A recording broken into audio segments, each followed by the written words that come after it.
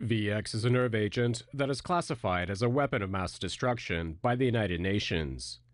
It is a tasteless and colorless liquid with a clear amber hue and a consistency like engine oil. Just 10 milligrams on the skin is fatal. Malaysian police say VX was used to kill Kim Jong Nam when he was attacked at Kuala Lumpur's international airport. Two women may have smeared two non fatal elements of VX, which mixed on Kim's face. VX works by disrupting an enzyme involved in muscle movement.